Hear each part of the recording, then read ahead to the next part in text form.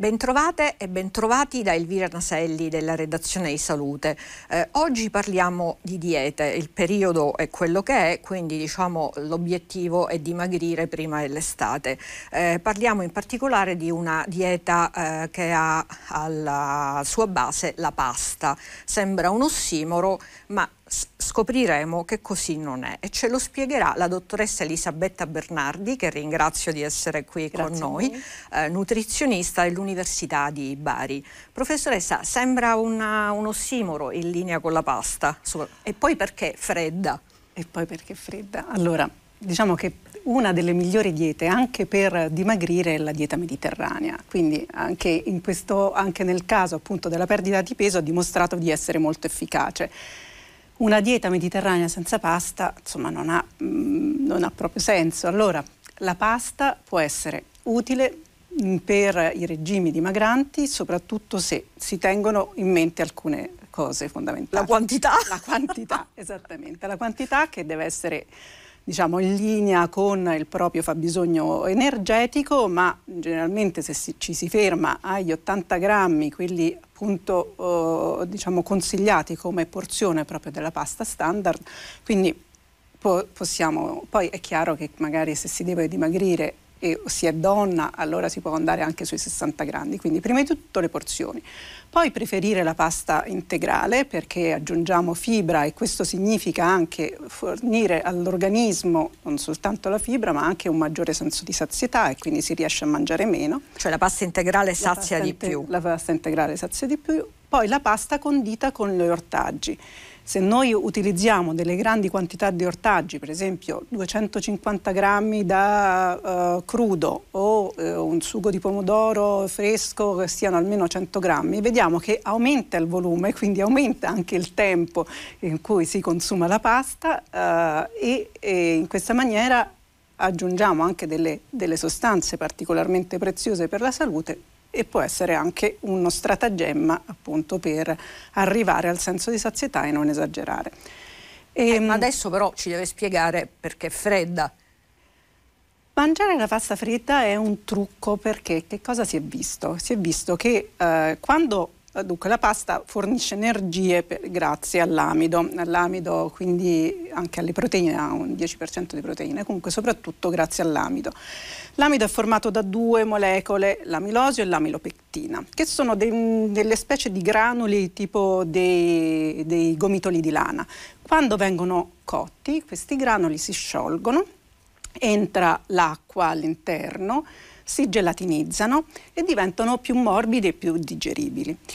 Quando si raffredda, l'amilosio tende a riallinearsi e a tirar fuori l'acqua. Questo riallineamento modifica la struttura per cui diventa quello che si chiama amido resistente, che si comporta in ugual modo che la fibra, ma anche apporta meno calorie, apporta due calorie contro le quattro apportate dall'amido. Caspita, Quindi la, la, metà. la metà. Non tutto l'amido si trasforma in amido resistente, però buona parte. E, ehm, quindi consumare la pasta fredda è una buona strategia per ridurre la, la, il contenuto appunto di, di calorie. Una cosa importante è che la pasta non sia troppo cotta, quindi diciamo la pasta al dente raffreddata contiene più amido eh, resistente. Ed è anche più digeribile. Ed è anche più digeribile. Sì. Senta, e se questa pasta fredda si volesse, adesso capisco che è una domanda che forse ha poco senso col nostro incontro, ma se si volesse invece riscaldare, quindi diciamo in qualche modo utilizzare gli avanzi o addirittura cucinare in funzione degli avanzi, no? come facevano le nostre nonne, facevano le frittate di pasta con la pasta avanzata. Adesso non dico magari la frittata perché forse aggiungerebbe calorie, ma se si volesse semplicemente un po' scaldare la pasta eh, migliorerebbe e manterrebbe, manterrebbe, questi vantaggi? Strano ma vero, ma migliora. È proprio una, una ricerca fatta nel 2020 pubblicata sulla prestigiosa rivista Foods eh, conferma che hanno, loro hanno messo uh, a regime diciamo, 45 individui facendoli mangiare quindi pasta calda, pasta fredda e pasta riscaldata e poi hanno misurato la glicemia ad intervalli di 10 minuti per, 120, per 2 ore. Quello che si è visto è che vabbè, il massimo della crescita della glicemia c'è con la pasta calda, con la pasta fredda c'è una diminuzione dell'aumento della glicemia, ma con la pasta riscaldata questa diminuzione è ancora maggiore. Quindi vuol dire che nella pasta riscaldata la quantità di amido resistente è maggiore. Ah. Quindi non, non, si ri, non, si riforma l'amido originale, ma si forma ancora più Uh, quindi l'amido resistente. quindi diciamo ah, potrebbe andare bene eh, anche per chi o è diabetico o comunque diciamo è in una fase iperdiabete. Potrebbe no? andare bene perché appunto ha un indice glicemico decisamente più basso, sia la pasta fredda che la pasta riscaldata, ma eh, può andare bene per ognuno di noi perché comunque contribuisce al nostro fabbisogno di fibra che è di 25 grammi e che è difficile da raggiungere. Invece appunto con queste strategie possiamo aiutare. Significa poi dare il nutrimento preferito ai batteri che abbiamo all'interno del, del nostro uh, intestino, quindi al microbiota intestinale.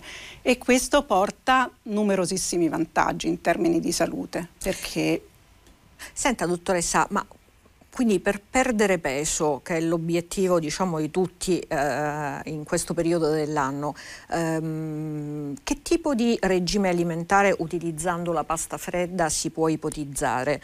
Nel senso, facciamo un esempio, per esempio donna eh, in premenopausa eh, che vuole perdere qualche chilo prima dell'estate, come può utilizzare la pasta fredda? Allora, 60 mm, grammi intanto. Sì, 60 grammi, soprattutto se non si eh, abbina a un'attività fisica che è sempre consigliato comunque nei regimi dietetici perché eh, con la sola dieta è molto più complicato.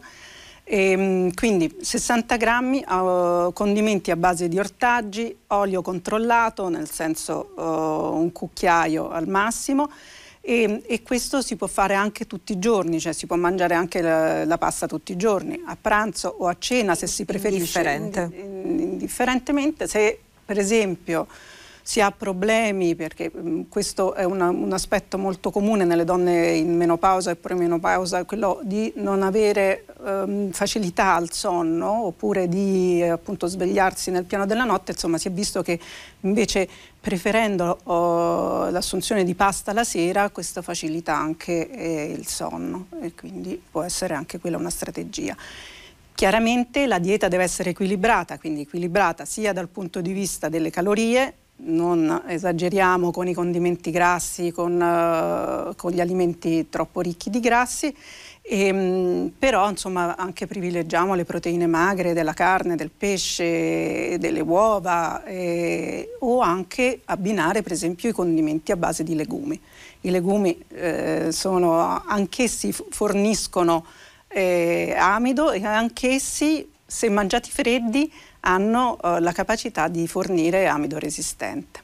Quindi e le insalate di legumi? Per esempio le insalate di pasta e legumi oppure di cereali eh, come l'orzo, il farro e i legumi. Questo ecco, potrebbe essere anche dei piatti estivi molto interessanti per chi vuole stare a dieta. Senta, quindi diciamo 60 grammi di pasta condita o con legumi piuttosto che con verdure in modo da utilizzare anche, da, da cercare di raggiungere quelle porzioni al giorno eh, che nessuno riesce a raggiungere, le cinque famose della dieta mediterranea di frutta e verdura. Eh, possono essere considerate un pasto unico o no?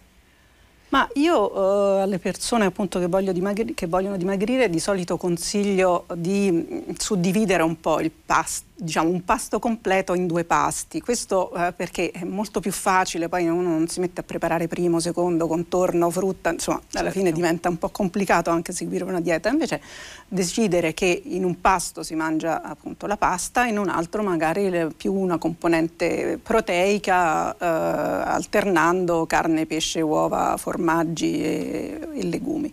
E, mh, con, in questo modo possiamo insomma appunto preparare un piatto unico, alla fine diventa un piatto unico che comunque è completo dal punto di vista anche dei nutrienti che apporta. È saziante. È saziante. Anche perché esatto. aggiungendo 200 grammi di verdura, esatto. anche l'occhio, sì. ah, no, c'è un impatto visivo che può essere soddisfacente. Eh, abbiamo ancora pochi secondi. Parlava lei prima di attività fisica. Ecco, a parte diciamo quella nelle palestre, eccetera, che pochi magari riescono a seguire con costanza. Che intendiamo? intendiamo la camminata quotidiana a passo svelto, quella dovrebbe essere proprio essenziale perché il nostro organismo si è sviluppato appunto in tempi in cui eh, era fondamentale muoversi e adesso che si ritrova seduto otto ore al giorno eh, eh comincia appunto ad avere degli, degli, scompensi dal punto di vista della salute. Quindi camminare, cercare di alzarsi ogni ora dal, dal posto appunto anche di lavoro, eh, sgranchirsi e camminare eh, o, o, passeggiare eh, mettendosi proprio le scarpe da ginnastica, eh, non fermandosi a vedere la vetrina, cioè cercare di fare un'attività eh, che almeno per un quarto d'ora, 20 minuti sia continuativa, così almeno eh, in questo caso si, si fa esercizio fisico chiaro. La ringrazio, grazie alla dottoressa Elisabetta Bernardi, nutrizionista dell'Università di Bari, grazie a voi per averci seguito.